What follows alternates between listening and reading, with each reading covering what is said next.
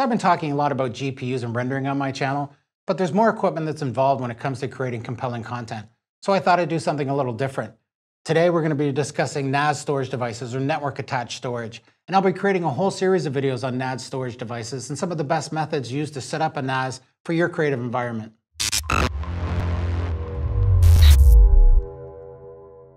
Hey everyone, I'm Mike from the Media Man Studio Services, and on our channel we like to bridge that gap between the creative content and technical requirements. Today's technical requirement is going to be storage, or specifically network attached storage. But before we get too deep in the video, I did want to say hit that like button, subscribe, notifications, yada, yada, yada, yada, all of that other stuff. But I did want to say that I have reached 70,000 views on my channel and 1,500 subscribers. So I'd like to thank everybody that's been watching, you know, help make this channel the little bit of a success that it is. But it's still only about 1 or 2% of the people actually watching the videos are actually hitting the like button. This will help with the YouTube search engine. It'll help get my videos out to a wider audience.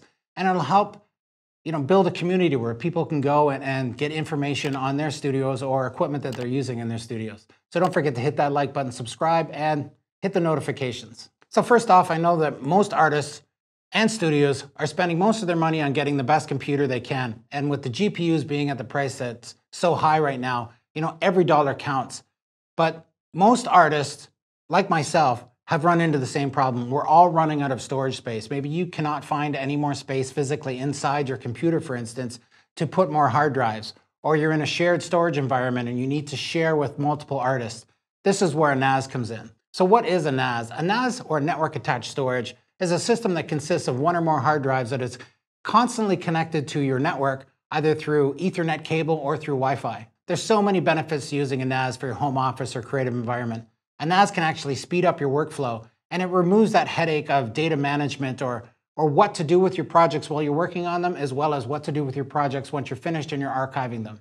Most NAS devices can store large amounts of data, from 1 to 2 terabytes to hundreds of terabytes and you can easily access this storage from multiple computer and devices on your network. A NAS can easily share data with other team members and artists on your network, as well as protect your data using RAID set configurations in case there's a drive failure.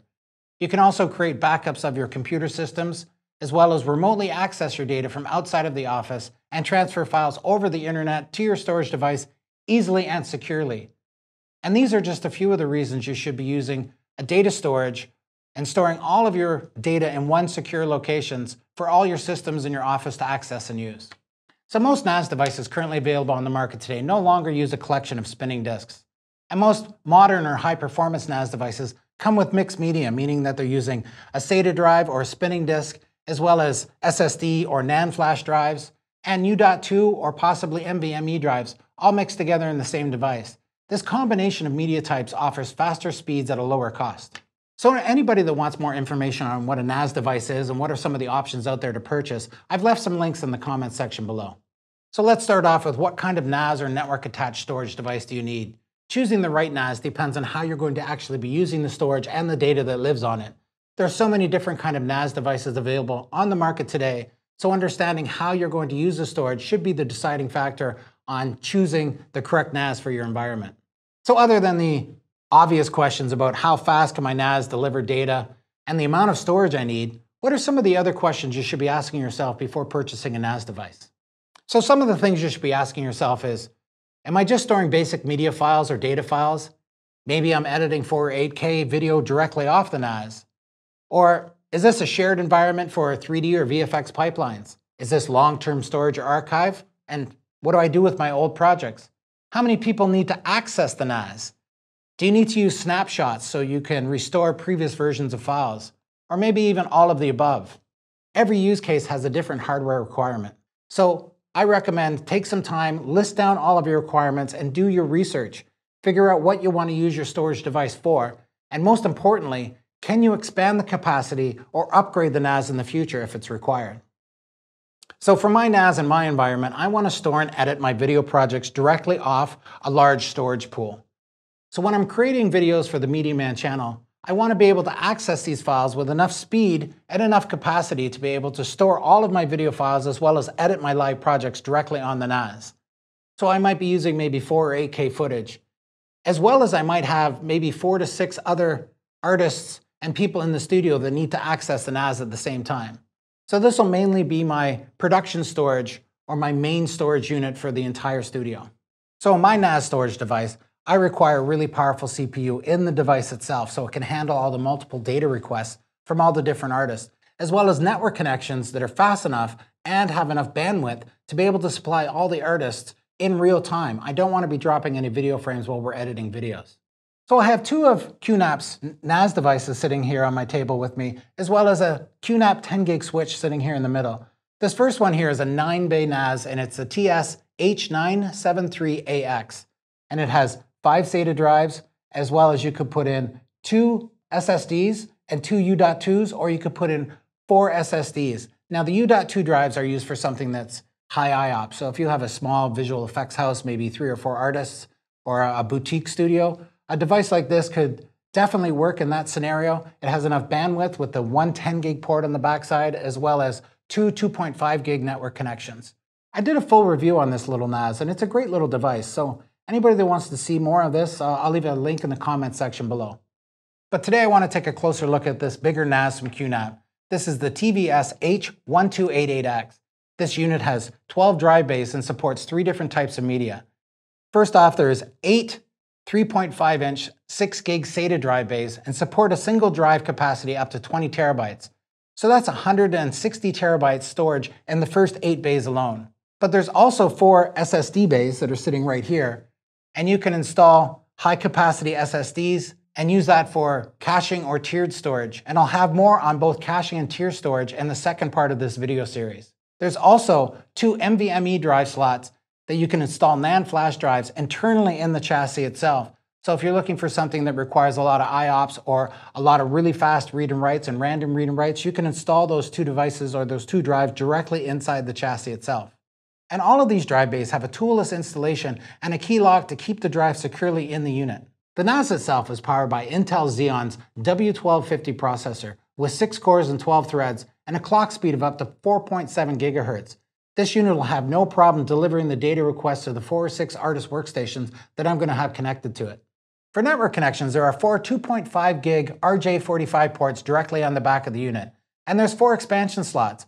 And one of those slots is already pre-populated with a Broadcom dual port 10 gig SmartNIC, but you can also put a 25 gig or even a 40 gig network card in one of these expansion slots to get super fast transfer speeds. You can also install two Thunderbolt 3 expansion cards for a total of up to four ports of 20 gig Direct Connect Thunderbolt connections to your laptop or desktop computers that support this feature. When it comes to cooling for this unit, it was really well engineered with a compartmentalized smart cooling solution, and this helps keep all the components cool and ensures a quiet operation. Directly behind the drive components, there are three large fans in the back of the chassis, and this keeps the storage drives cool. And in the system compartment, there are two fans that are blowing directly over the CPU and expansion cards to ensure stable temperatures for the host operating system. So you can actually have this NAS actually sitting right beside you on your desk because it's actually really super quiet. So the TVS H1288X NAS offers great transfer speeds and large enough capacity for most small to mid-sized creative environments. You can easily run an animation or VFX studio with maybe 10 to 20 artists off this NAS, or in my case, you could run a video production house with maybe four to six artists all editing 4K video directly off the NAS itself. So just to wrap this up a little bit, I just wanted to point out that understanding how you're going to use your storage is the most important factor when purchasing a NAS. Plan and research before you purchase a storage device. Because in the next steps, we'll be looking at what kind of file system that we'll actually be using or host system we'll be using on the NAS itself. So that'll have to be in the next video. So on that note, it's time for question of the day. If you're using a NAS for your creative workflow, what kind of NAS are you currently using? Maybe sound off below in the comment section and share some of the experiences that you've had with NAS devices in your creative environment. I also really wanted to thank QNAP Malaysia for supplying me with this device. This is the TVS H1288X NAS. Now I don't have to worry about any of the footage that I record for the MediaMan Studio Services channel. Editing and storing my projects just became so much simpler, so why not let QNAP help simplify your storage needs? I also wanted to thank the really nice people over at Exascend for supplying me these enterprise class SSD drives. If you're looking for fast and reliable NAND flash storage drives, check out Exascend. They also make a CFast card for optimized performance and true uncompromised cinematography storage, so why not record your next video production on Exascend Media? Please check out part two of this video series where I'll be discussing the differences between the QUTS Hero or the ZFS file system and the original QTS file system. In later videos, I'll run through the entire process of setting up the actual RAID pools themselves, as well as applying the SSDs as tiered storage to the slower SATA drives. I'll also be setting up hot spares and expanding the capacity of the RAID itself. And then I'll be looking at how to set up remote access as well as other file transfer utilities using virtual machines or VMs directly on the QNAP NAS device. So thanks for watching. Please hit that like button, subscribe to the channel, hit notifications so you can be notified when I release new videos. Um, don't forget to watch the other videos on my channel. I really enjoyed doing this video for you, and I'll see you in the next one.